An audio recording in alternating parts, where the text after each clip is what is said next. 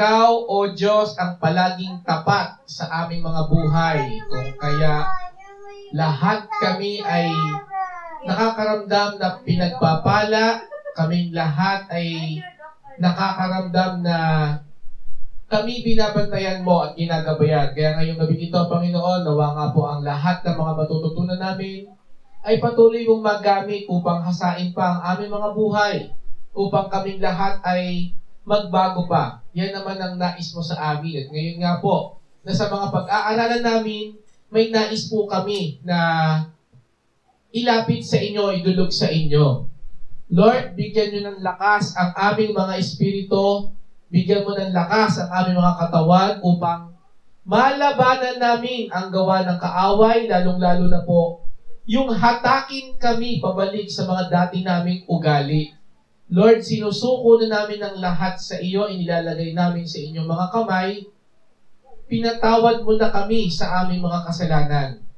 Tulungan mo kami, Panginoon, na wag na kaming bumalik pa sa dati naming ugali, mai maiwaksin na namin ang gawa ng kaaway sa aming mga buhay, maiwanan na namin ang dati naming pamumuhay. Kaya Lord, awa at tulong mo ang hinihingi namin ngayon upang maintindihan namin ang lahat ng aming kailangang aralin, lahat ng kailangang intindihin, upang lalo pa kaming mapalapit sa iyo. Lord, thank you for all the blessings na binibigay mo sa amin, lalong-lalo na po sa katapatan mo sa aming mga buhay. Ito pong aming dalangin sa matamis na pangalan ni Jesus. Amen. Tayo po ay dadako na sa ating awitan. Ayan, dahil ang ating topic, ang title ay Bagong Buhay Ipamuhay. So, Amazing Grace ang ating awit sapagkat dahil sa biyaya ng Diyos, tayo ay nagkaroon ng bagong buhay. Amazing Grace. Ready? Sing. Amazing Grace, how sweet the that saved a wretch like me. I once was lost, but now am found. Was blind, but now I see. Grace that taught my heart to fear, and grace my fears relieve.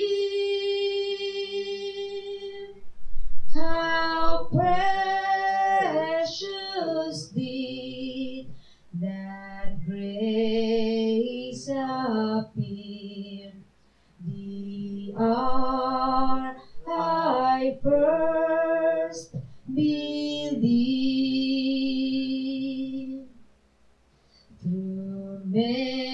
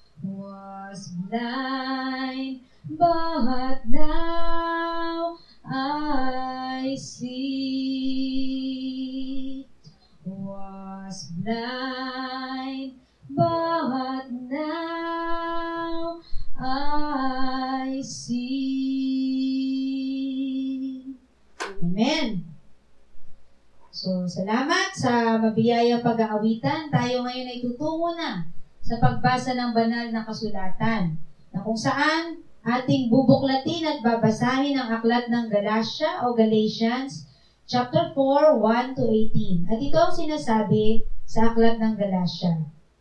Sabi dito, ito ang ibig kong sabihin. Habang bata pa ang tagapagmana, hindi siya nakahihigit sa isang alipin, kahit na siya ang may-ari ng lahat. Sa halip, siya'y nasa ilalim pa ng mga tagapangasiwa at mga katiwala hanggang sa panahong itinakda ng kanyang ama. Gayun din naman, tayo noon ay nasa ilalim ng mga tuntuning umiiral sa sanlibutan ito, hanggang sa tayo'y dumating sa hustong gulang.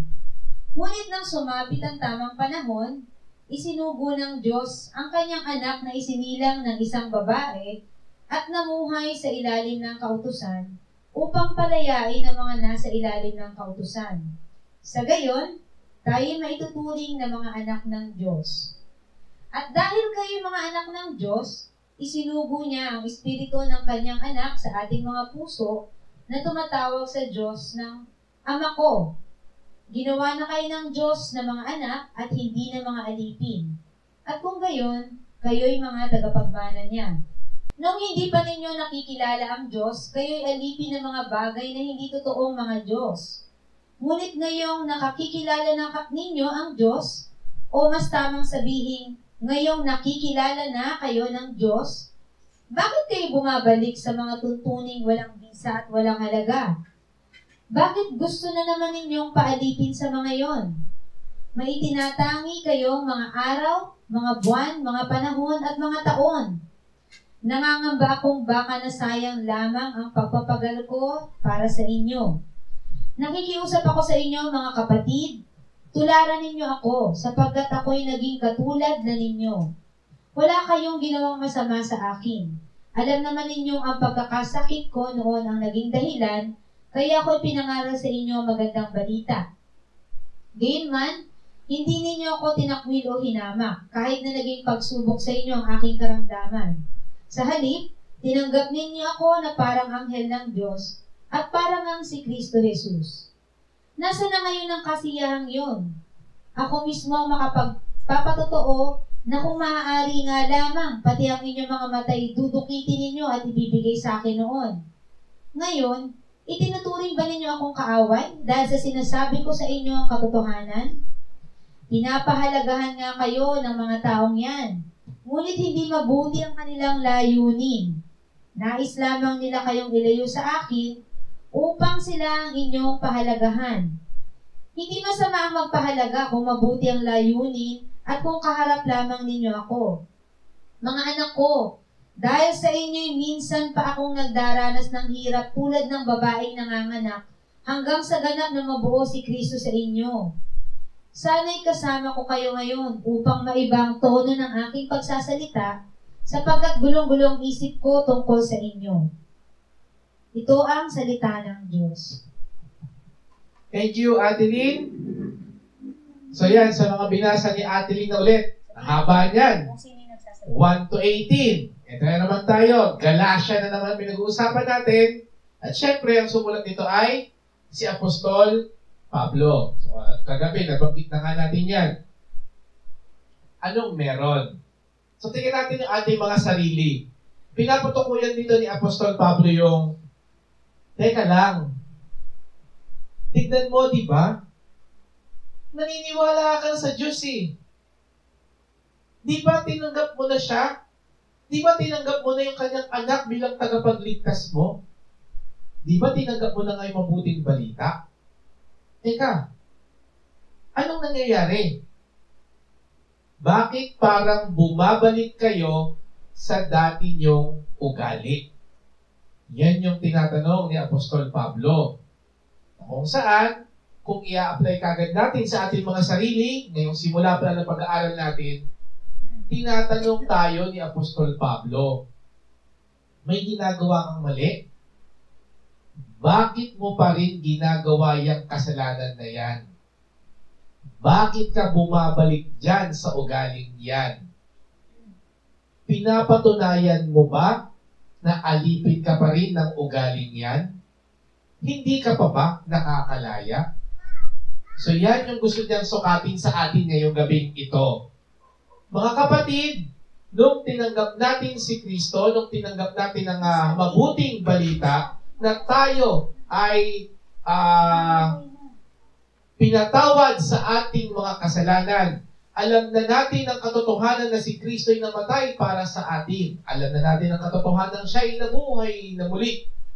Pero, para sa atin, ano yung timbang ng lahat ng kahalagahan ng yon?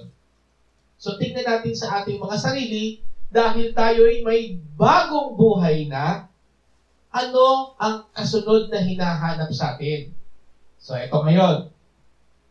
Di ba tayo ay mga born again na?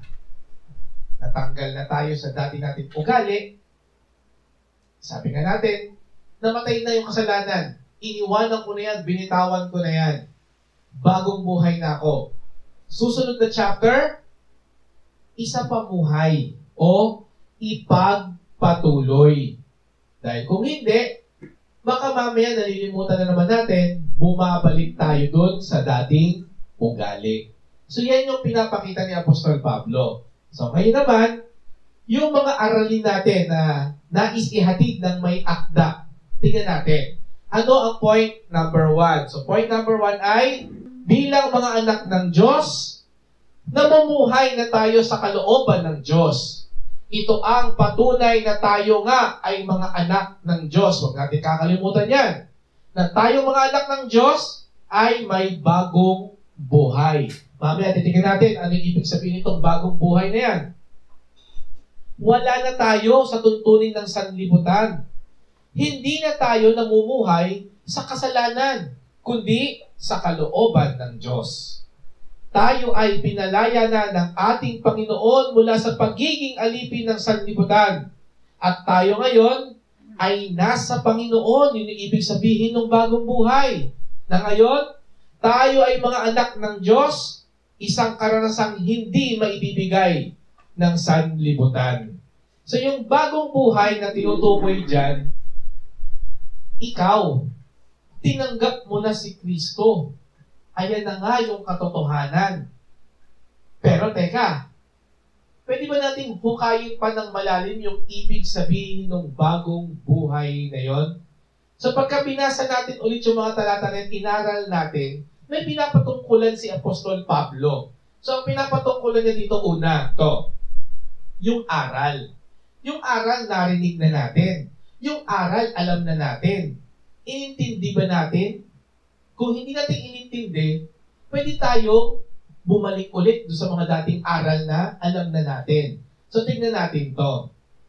Etong aral na tinuturo ni Apostol Pablo, meron siyang gustong uh, iparating sa lahat. Yung unang binanggit natin dito, wala na tayo sa tuntunin ng sanlibutan. Hindi na makamundo kung paano tayo mag-isip. So, tingnan natin to. Una, yung sinabi ko sa inyo ng mga nakaraang gabi, masunurin naman tayo sa batas. O sige, pare-pareho naman tayo. Nagtanong pa ako sa inyo, sino dito ang pumatay na? Ako, hindi, hindi ko gagawin yun. Nakalagay sa Ten Commandments, bawal pumatay. O sige, sinusunod natin yon. Huwag kang papatay. Pero, yung damdamin mo ba nagbago? O kinokontrol mo lang yung sarili mo dahil nakatali ka sa batas? So yan. Yung bondage of sin, tsaka yung bondage in the law, ang tinutukoy ni Apostol Pablo dito. Ikaw ba ay nakatali pa rin doon sa batas? Hindi ko kayang patayin kahit galit na galit na ako sa taong yan. Hindi ko papatayin yan. Dahil nakalagay sa batas. Tali ka sa batas, pero yung damdamin mo, naghihimutok na gustong-gusto kong durugin yung taong yan. Galit na galit pa rin ako dyan. Huwag na huwag mo maiharap sa akin, baka bigla akong masuntok yan. Tali ka sa batas, pero yung puso mo, hindi nagbago. So, tingnan natin to. Ano ang tuntunin ng sanlibutan. Ngayon, ayan na. Ano yung tinutukoy ni Apostol Pablo dito? Simple. Pagka inaral natin yung tuntunin, parang basics of life. Parang ganyan. ABCs of life. Eto ba, narinig nyo na? Pag ginawa mo sa akin, gagawin ko rin sa'yo. Pansin nyo? Ito pa, isa. Alam niyo yung salitang karma. Alam niyo yun? Na pag may ginawa kang mali, anong mangyayari sa'yo? Mali din. Pag may pangit kang ginawa, kakarmahin ka, pangit din mangyayari sa'yo. Pag may mabuti ka namang ginawa, mabuti rin ang mangyayari sa'yo. Ang tanong, makasanlibutan ba yung pag-iisip na yan o hindi? Ang totoo, yan yung alituntunin na tinutukoy dito ni Apostol Pablo na dapat kalimutan mo na. Nasa Diyos ka ni. Kasi ang Diyos, hindi sinunod yung basic form na yan. Yung uh, basic of life na yan, tinutukoy natin na dapat para sa'yo, ibibigay ko sa'yo. Pero dahil hindi ka deserving, hindi kita pagbibigyan yan. Naalala nyo rin noong mga nakaraang gabi nung tinutukoy ko sa inyo, ang isang ama, pag nagdala ng pasalubong, hindi pwedeng itsupera niya isa. Ako, naiinis ako sa'yo, hindi ka kasali dito, ah. Wala kang pasalubong. Hindi eh. Dinadalan pa rin ng pasalubong. Ito pa isa. Tingnan nyo kung deserving, ha? Sino dito ang nagkaroon ng uh, anak? Yung anak, galit na galit ka, kahit nanay ka. Ito, alam na natin ito storyang to. Kahit nanay ka, kinapagalitan itong anak mo na to dahil sobrang kulit, sobrang, uh, sabihin natin, pasaway. Sumuway sa lahat ng bata, sinuway lahat ng inyong utos, hindi sinunod yung uh, nais natin na sana umayos ang buhay mo, sana gumanda ang buhay mo, sana nag-aral kang mabuti. Pero pag nagugutom yung anak mo, anong gagawin mo? Di ba taliwas naman yan sa basics na tinutukoy natin? Yung basic na tinutukoy natin, dahil hindi ka nag-aral, huwag kang kumain. Ano gagawin ng nanay? Minsan niya, alam natin, pinagtatabi pa ng ulam, itinatago, dadala ng pagkain, kinakaawaan. Yun yung tumataliwas. So alam niyo na yung ugaling yon. Kung alam niyo ugaling yon, yun din ang ugali ng ating Diyos. Ginawa din niya sa atin, ginawa sa atin ng Diyos yan. Hindi tayo deserving ng awa niya. Pero anong ginawa niya? Pinadala niya ang kanyang buktong na anak upang patawarin tayo. Di ba ang deserve natin ay tayo ang mapako sa krus, tayo ang maparusahan. Sinong naparusahan? Si Jesus, hindi tayo. Siya nga yung may tagos ng ano, pako sa kamay at paa. Hindi tayo. Dapat tayo yon. Yan yung pinapakita dito ni Apostol Pablo, binebreak natin yung sarili natin sa basic na tinuturo ng sanlibutan. Hindi tayo nag-iisip na kagaya ng makasanlibutan. Tayo ay makalangit kung mag-isip. Isa yan sa pinupunto ni Apostol Pablo dito. Huwag mo nang balikan yung mga ganyang ugali. Mamaya hukayin pa natin. Ano pa makikita natin dito? Tayo ay pinalaya. So yan, sinabi ko na sa inyo, kanina parang ikaw ba talika lang ng batas, pero yung puso mo nagsus nagsusumigaw pa rin sa galit? Si Kristo ang nagbago niyan. Pinalaya ka na. Yan yung naramdaman ni Apostol Pablo. Nakalaya na ako dito. Nakalaya na rin ako sa batas. Tandaan nyo, kabisado ko nga yung batas eh. Pero nakalaya din ako doon dahil kay Kristo. Kayo, kumusta? Anong nangyayari sa inyo? Saan pa kayo nakalaya? Tingnan naman natin to. Merong isang uh, songwriter. Itong songwriter na to, ang pangalan ay John Newton. Si atin hindi natin, kilala ba si John Newton? Hindi masyado. Actually, hindi. hindi. Kung hindi nyo kilala, siya yung sumulat ng kantang Amazing. Siya pala yun? Ay, siya pala yun. Kinanta natin kanina. Pambihira. siya Oh, di ba? Pambihira. Si John Newton ay ah, nung bata pa lang siya, ang sakit na nararamdaman niya. Hindi siya naalagaan ng maayos. Seven years old pa lang siya, natira na siya sa isang barko. So doon na siya kagad, seven years old, doon na siya nagtrabaho. Kaso yung barko na pinagtrabahuhan niya ay slave ship. So yan na yung mga nangunguha ng mga slave galing Africa yata yun, dadalhin ng England, parang ganon. O US.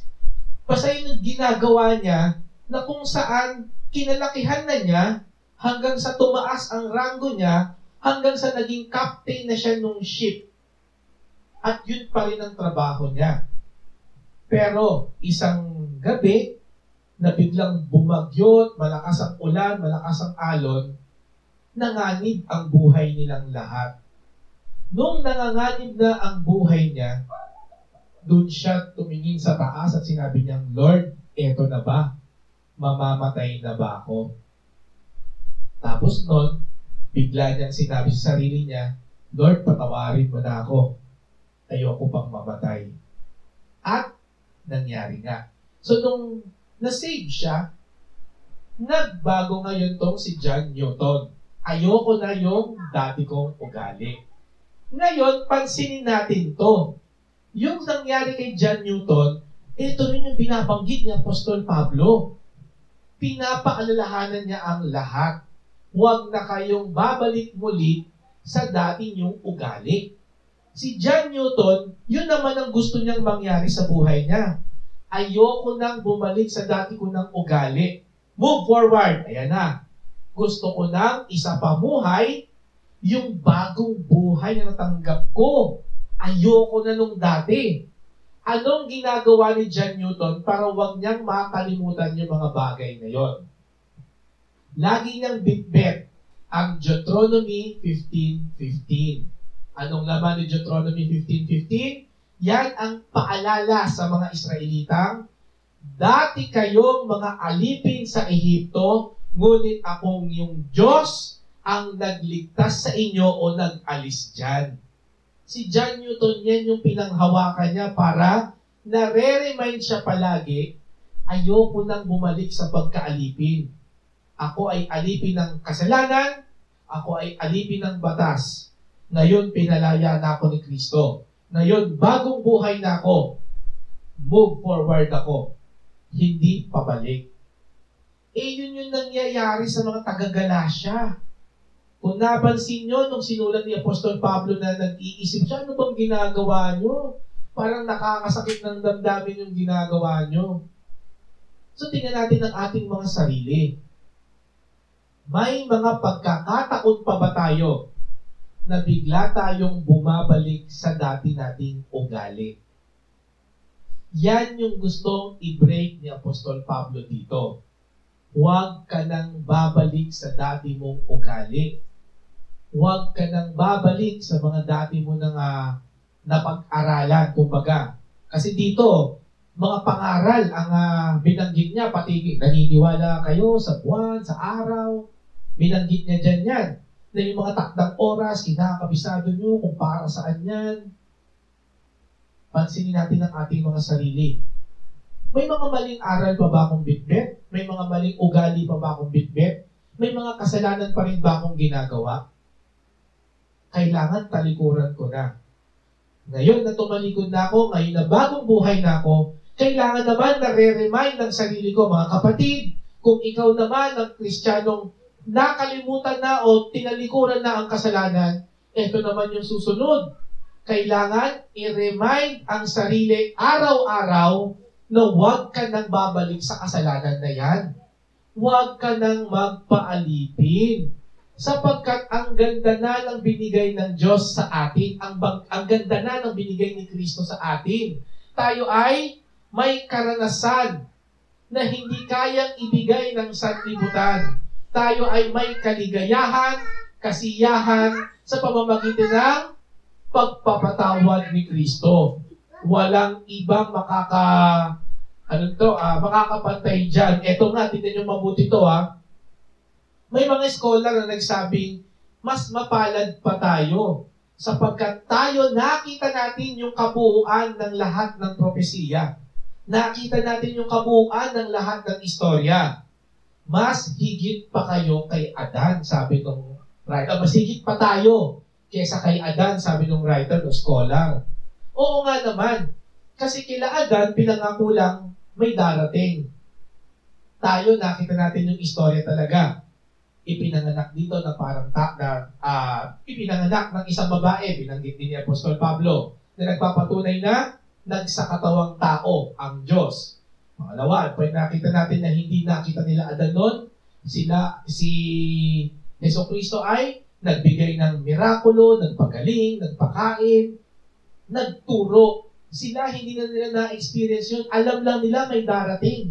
Tayo nakita natin na may dumating, nakita pa natin kumilos. Natutunan pa natin kung paano yung kilos na yun. Yun yung maganda. Yun yung mas mapalad na hindi kayang ituro din ng sanlibutan. Mababaw ang tinuturo ng sanlibutan. Ito, mas malalim. Mamaya mapapatunayan pa natin yan. Tandaan nyo, ang sanlibutan ang tinuturo lang sa atin, kababawan. Kagaya nga nung sinabi ko sa inyo, kung anong deserve mo, yan lang ang makukuha mo. Pero sa Kristyanismo, mas higit pa doon. Pero teka lang, tingnan natin to kung anong ginawa ko, tama ba yung kilos na equal doon ng kapwa ko? Kung ano yung kaya ko pang gawin, ginagawa ko ba? Mamaya makikita pa natin yan. Let's go to point number two. Dahil tayo ay anak ng Diyos, tayo ay may bagong buhay kay Kristo, ano ang hinihingi sa atin? Ito ay ipamuhay natin na makikita natin sa mga talatang 8 to 12 at 18. So wag nang balikan ang dating pamumuhay na makasalanan. O, yan ay tinutukoy natin. Pahalagahan ang bagong buhay na ibinigay ni Kristo sa pamamagitan ng pagsunod sa kanyang kalooban. Ito ngayon yung susukatin natin sa ating mga sarili.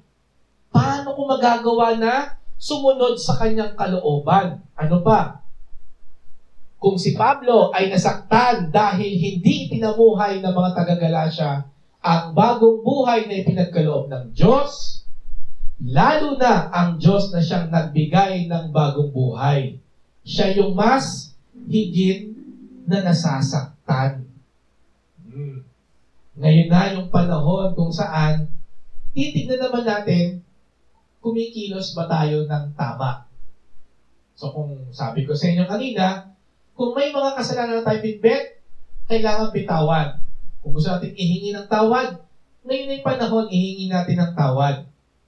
Pero kasalanan yung binabanggit natin. Eh kunyari ngayon na nag-move forward tayo, Lord, tama ba ang mga ikinikilos ko ngayon bilang isang Kristiyano? So yan naman yung titignan natin. Moving forward, Tama pa ba yung mga ikinikilos ko? Ano ba yung hiningi mo sa amin? Ang sabi ni Diyos, sabi ni Lord, sige, tinatanggap ko. Hindi ka na babalik sa kasalanan mo. Tinatanggap ko yung kilos mo na yan. Kaya mo nang kalimutan ang kasalanan mo from the past. Moving forward, gusto ko ikaw naman kumilos na parang si Kristo. Hindi sa normal way ng mundo, kundi sa way ng Kristyanismo. Ano yun? Di ba sabi ko nga sa inyo kanina, ang Diyos nga, hindi nakikiayon sa takbo lang ng mundo. Iba yung way of thinking niya. Mas hinihigitan niya. Paano tayo? Ito ngayon yung example na iiwanan ko sa inyo. Gusto ko pag-isipan nyo ito. Sinulat ni Chuck Swindoll sa pamagat ng Amazing Grace na libro niya, or Amazing Grace, sorry. Ang sulat niyan ito ay nagkwento siya ng uh, paano ba ang pag-ibig ng Diyos? Paano ba kumilos ang Diyos? Paano yung pananaw niya? So, tingnan natin to. Ang binigay niya na kwento ay may isang mag-asawa sila ay nagpe-pray sa Diyos.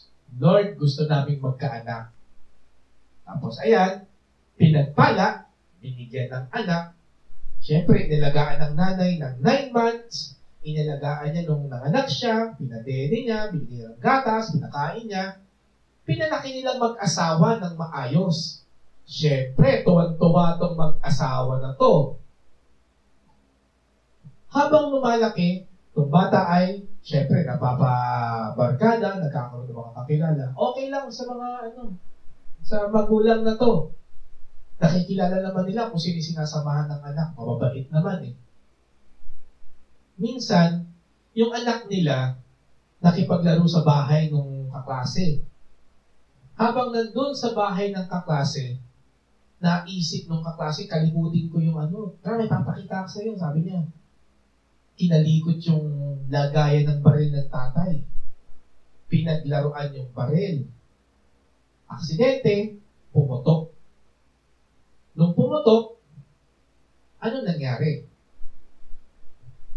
Namatay yung anak ng mag-asawa. Anong mararamdaman mo? Galit? Inis? Anong thinking ang magkakaroon sa'yo? Kung paano mag-isip ang mundo? So, tingnan natin to. Binigyan ng option ni Chuck Swindoll yung mga nagbabasa ng libro niya. Ikaw, anong gagawin mo? Letter A, sabi niya. Gante. Patayin mo rin yung uh, nakapatay sa anak mo.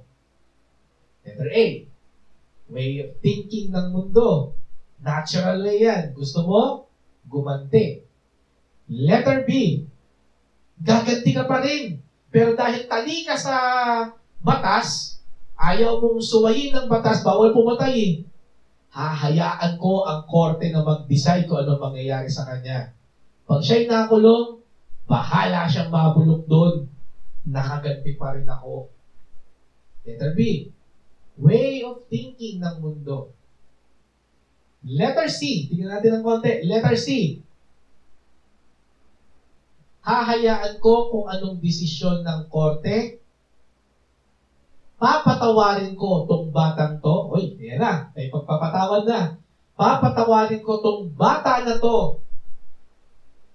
Pero, ayoko na siyang makita pang muli. Hindi hindi na siya pwedeng tumungtong sa bahay natin. Hindi hindi na siya pwedeng magpakita ng pagmumukha niya sa atin. Nandun pa rin yung inis, yung sabi ko sa inyo. Nagpatawad ka nga, pero yung inis, bit-bit mo pa rin.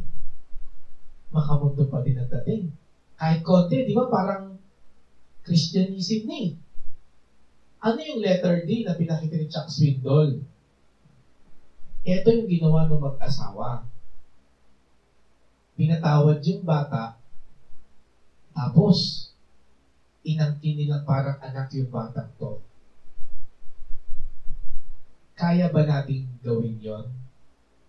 Samantalang, may isang Diyos na nagbigay ng kanyang anak dito sa mundong ito, tapos namatay siya dahil sa atin. E kaya naman siguro ng Diyos na patawarin na lang tayo, pero hindi hindi tayo makakatungtong sa bahay niya.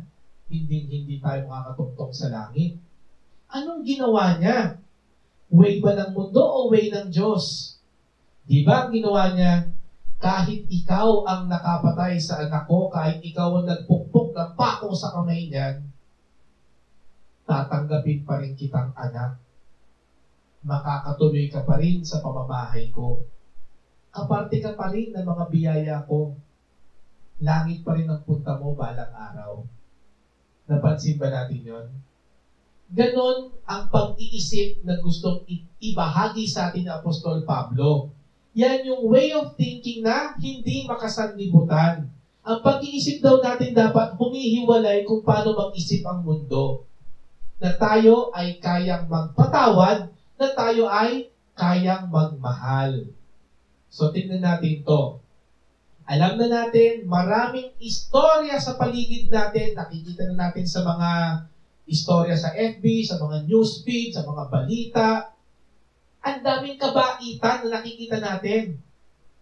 Parang Christianism. Tingnan natin mabuti. Paano mag-isip ang Diyos?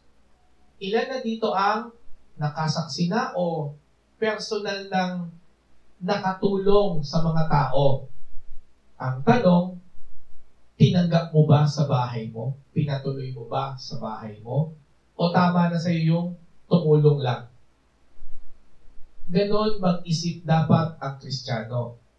Sabi ni Apostol Pablo, moving forward, kailangan mag-isip tayo na parang kagaya ng sa Diyos. At huwag nyo nang babalikan kung ano yung mga nakagawian nyo na dati. Go the extra mile. Ngayon na yung panahon upang malaman natin kailangan magbago na tayo sa pag-uugali natin. Ngayon na yung panahon na kung saan, ayan, araw-araw nire-remind na tayo ng Diyos, Anak, may mali ka pa rin ginagawa. Tayong lahat kinakausap ng Diyos doon. Tayo kasama kaming pamilya dito, hindi kami, kung tinuturo ako dito, kayo lang, hindi. Tayong lahat ang kinakausap ng Diyos dito. Tayong lahat ang nire-remind niya. Huwag na kayong bumalik sa dati niyong ugali. Baguhin niyo na yung mga asal niyo at maglakad kayo ng banal. Yan ang itinuturo nila Apostol Pablo sa atin. Yung kabanalan, ipagpatuloy natin. Yung bagong buhay, hindi lang yung pagiging born again na title ang hawak mo, kundi isa pamuhay. Makita sa atin ang buhay ni Kristo. Makita sa atin yung mga galaw ni Kristo. Marinig sa atin yung mga pananalitang parang si Kristo. Magbago na tayo. Ngayon na ang panahon. Huwag nang magpatagal-tagal pa. Pagpalain tayo ng Panginoon sa ating pagkaaral ng uh, kanyang salita ngayon. Pero bago tayo uh, magtungo sa ating uh, awitan, reflection time ulit tayo. Mamaya, pag ikaw ay nanalangin na ng personal, ang may akda ng ating aralin ay uh, nais na naman mag-iwan sa atin ng mga dapat pag-isipan. Ihanda ang mga cellphone kung mag-screenshot, ihanda ang inyong mga papel at ballpen, ilista po natin itong mga tanong na ito na kung saan kayo ang sasagot sa Diyos. Pag-isipan po natin, sa iyong palagay, bakit kaya kailangan pa ang paulit-ulit na reminder? Yan, dali sagutin yan. Kulit tayo eh.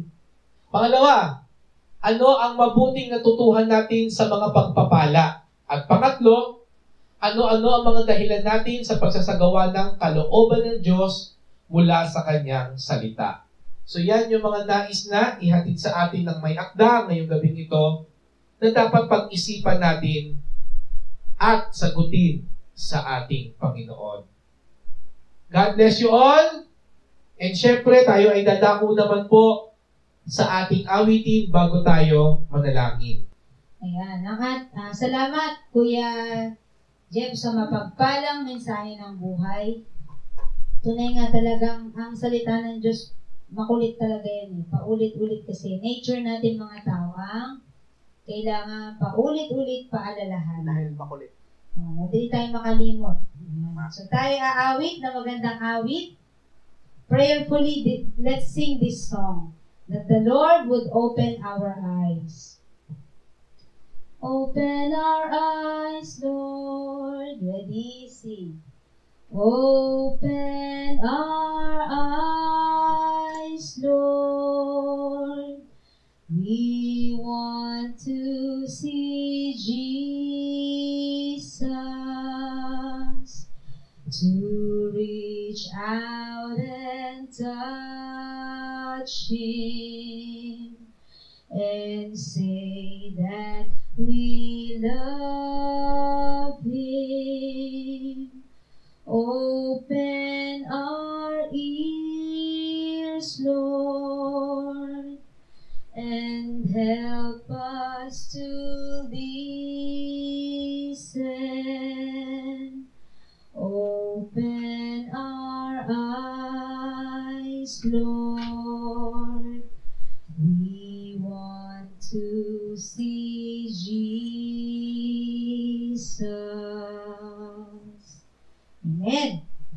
sabi dyan, may the Lord open our eyes and our ears, our eyes for us to see Jesus, our ears to help us listen to Him.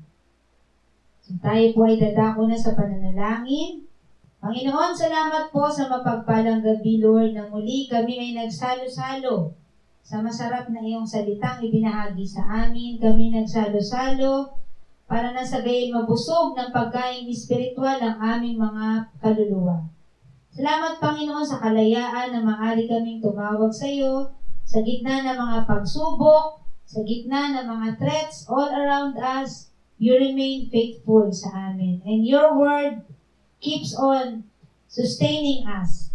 Ang iyong salita ang siyang nagbibigay kalakasan sa bawat isa sa amin. Hindi lamang kalakasang pisikal, higit doon kalakasang espiritual na siya rin nagbibigay kalakasan sa aming mga katawan. Sapagkat we believe, Lord, kung ano ang itinatanim namin sa aming isip, kung ano ang nagde-dwell sa aming isip, ay siya makapangyayari sa buhay namin. Kaya thank you, Lord, that you keep on pouring out your abundant blessing upon us through sharing of your word. Patuloy mo po pangunahan ang bawat tahanan. Patuloy kaming lumalapit sa iyo at ngayong gabi, Lord, nagpapalinis kami mula sa aming mga kasalanan. Sabi mo nga, Lord, na if we will confess our sins, you are faithful and just to forgive us from all our sins at dinising kami sa lahat ng unrighteousness. Salamat din, Panginoon, na ang iyong mga anak, binibigyan mo paulit-ulit ng chance. You are the God of many chances, and every time we fall short, and commit mistakes and sins, we can always go back to you. At kami iyong patuloy na tinatanggap. Panginoon, dalangin namin, maiwaksi namin tuluyan sa aming mga buhay, anumang mga kasalanan ang mayroon, na hindi ito manatili sa aming mga buhay, bagkus Lord, sa pamamagitan, Lord, ng iyong ginawa sa krus ng Kalbaryo, makalaya kami mula sa pangaalipin ng kasalanan sa aming buhay. Kung kami man, Lord, ay mayroong mga galit sa aming mga puso, kung kami man ay mayroong pag-iimbot, at anumang pakiramdam, Panginoon, or feelings, negative and ill feelings within our hearts, amin tong sinusuko sa iyo, sa iyong paanan, Panginoon. We want to be free from any sin, Lord, that keeps us in bondage. We want to be free from the snares of the devil na hindi na makapag-operate sa buhay namin ang kaaway. Bagus, Lord, the Holy Spirit will dwell upon us at ang siyang makakakilos sa aming mga buhay. Ngayong gabi, Lord, we claim for your forgiveness. The same way, Lord, that we want to grant forgiveness to those who offended us. Kung, may, kung kami man, Panginoon, ay nasaktan, we are releasing ourselves from the anger and bitterness. And Lord, we release forgiveness kung kanino man kami dapat magpatawad. At Lord, we ask for forgiveness sa mga na-offend namin, Lord. Give us a humble heart na magawa namin manghingi ng tawad at paumanhin. Katulad, Panginoon, ng sinet mong example, na hindi maging mahirap sa amin na lulukin ang aming mga pride, ibaba ang aming mga sarili, at nang sa gayon, Lord, the same way, maranasan namin ang lubusang pagpapatawad mo. Sapagkat yun ang sinabi mo, Lord, matuto din kami dapat magpatawad. Panginoon, Patuloy namin tinataas ang iyong dakilang pangalan sa aming kalagitnaan.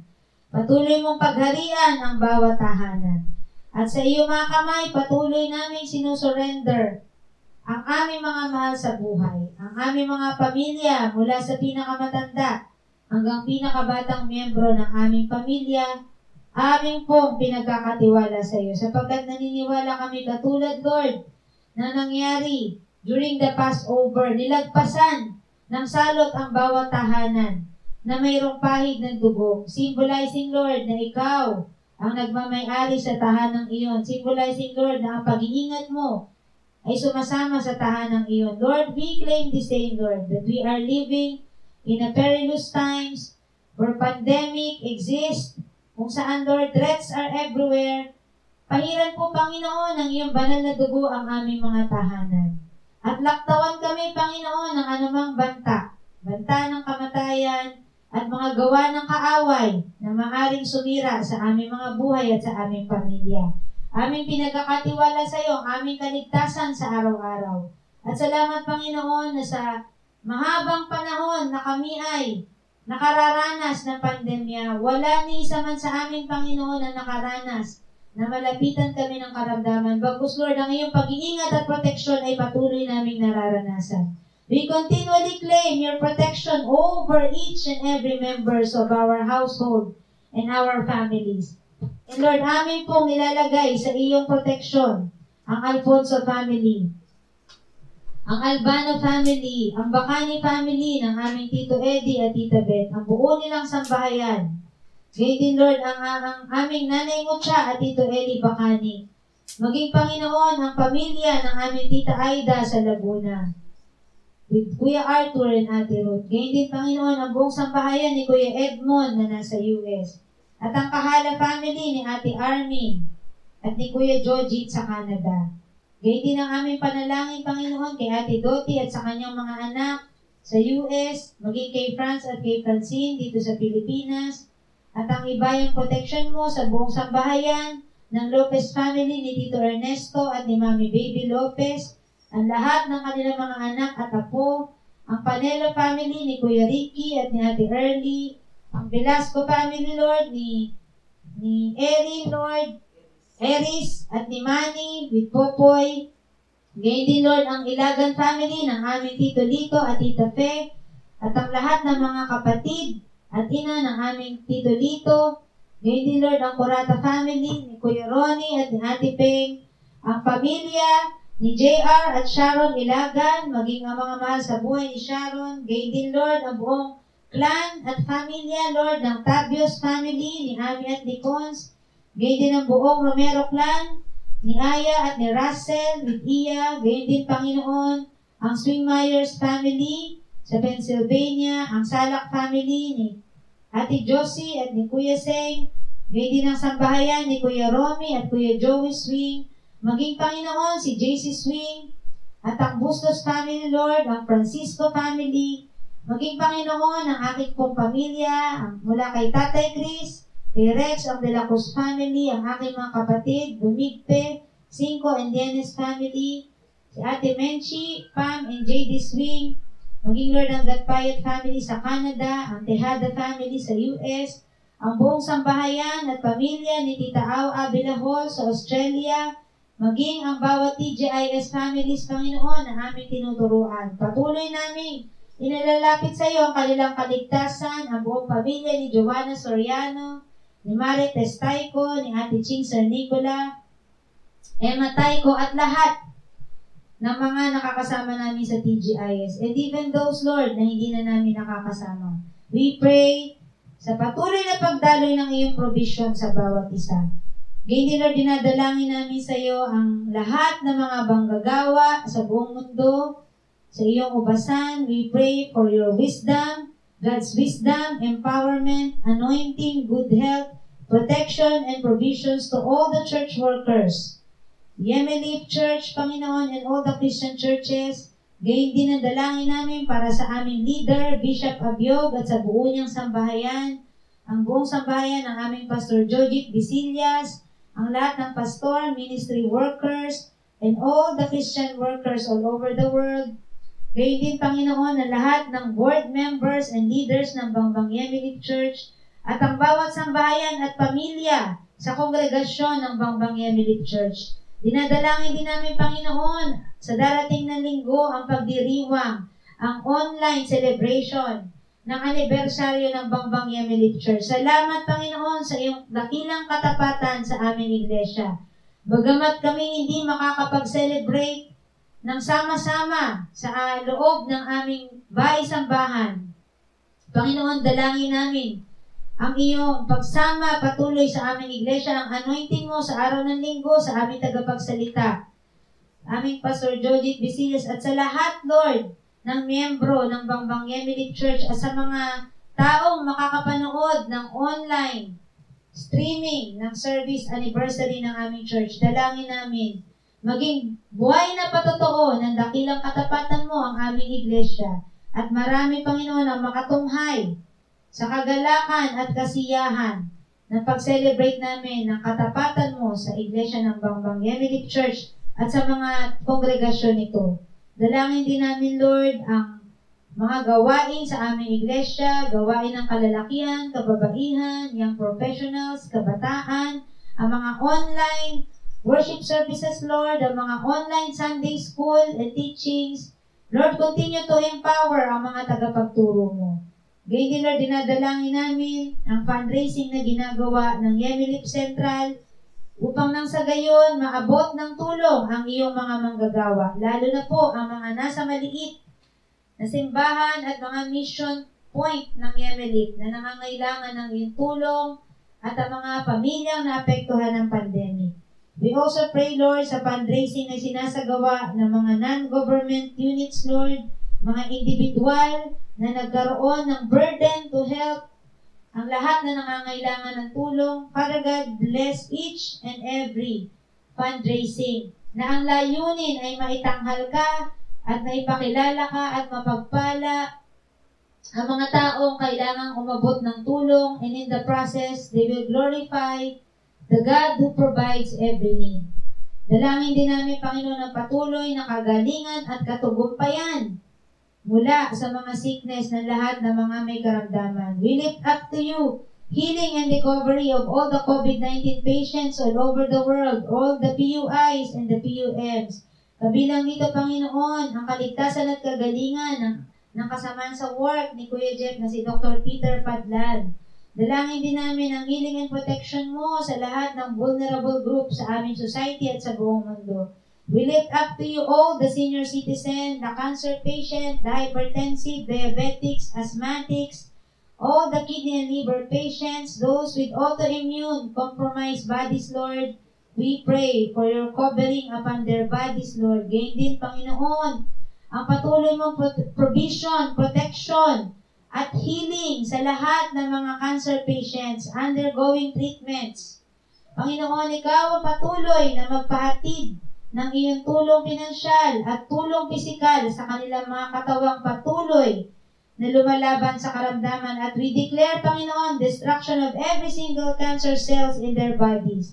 Dalangin namin sa specifically, Lord, ang aming Mami Nelly Alfonso, Mami Bini, Ate Glo, Pastor Lilibet, Ate Franny, Ate Dayan, Mrs. Mendoza, maging si Jack Ruth Albaniel, ngayon din Panginoon, si Paul Quintos, Pastor John Mir Janohan, Rashe Pimpin, Paulo Marcojos, Mr. Dakanay, Rodel Osila, Ate Hazel, ngayon din ang kagalingan sa psoriasis ni Warren at ni Alec, ang pag-normalize ng BP ng aming Pastor Jojit at ni Capred, ang kalusugan at safety ni Tito Nelson Sarmiento, Tito Arnel Sarmiento, Kuya Joe Wiswing, at lahat, Panginoon, ng nangangailangan ng kagalingan. Gayun din, Panginoon, tinataas namin sa iyo sa panalangin ang job interview na nakaschedule bukas ni Shannon, ang desire ng puso niyang makarating sa Singapore at makatulong sa kanyang pamilya. We pray, Lord, that you would honor the desires of her heart and empower and give her wisdom sa kanyang interview. Dalangin din namin lahat, Panginoon, ng kaligtasan at protection mo sa mga OFW workers sa buong mundo, kabilang ang aming mga family members all over the world na, na nagtatrabaho para sa kanilang mga pamilya. We lift up to you, Kuya Ricky Panelo, Manny Velasco, Erin Lopez, Jello Albano, Kuya Jen, Kuya Don and Ate Yen, Bong Quintos, and Brother Randy Maderse, at Pati na rin, Panginoon, si Milky Salenga. At lahat, Lord, ng mga OFWs. We also remember and pray for the safety and protection of all the frontliners, ang lahat ng mga nasa healthcare professions, Lord, all the doctors, nurses, and those working in companies providing, providing basic services. We lift up to you our family physicians, Dr. Contapay, Dr. Jeronimo, Dr. Chico, all the doctors and nurses of Hope General Hospital, even the former nurse of Hope Gen. We pray for Ate Peng and Kuya Ronnie, JR, Ate Early, Faye, Kuya Bong and Ate Rose, Harold, Kay, and Mariel Abiog. Ngayon din, Panginoon, for Sheila Delara, at lahat, Lord, ng frontliners. Dalangin din namin ang patuloy na empowerment and wisdom sa lahat ng leaders ng mga bansa. We pray for our government leaders from our president down to the barangay, Panginoon. Give them wisdom and empowerment Ngayon din sa lahat ng leaders ng mga bansa affected by the pandemic.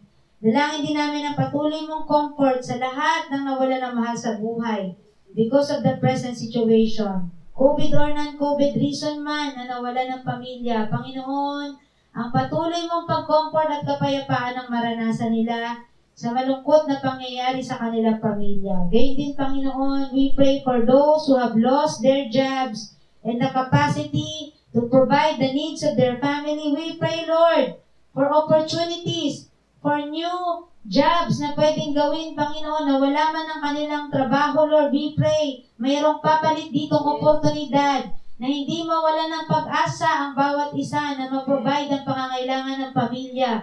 Na walang pamilya, Panginoon, ang mag- magutuman, bagkus, Lord. There will be opportunities na kumita ang bawat isa, ang bawat breadwinners ng pamilya. Dalangin din namin, Lord, ang comfort and peace sa lahat ng nakararanas ng depresyon at anxiety at kawalang pag-asa. Palitan mo po ang aming pagkatakot at anxiety ng faith. Allow faith to rule over our fears.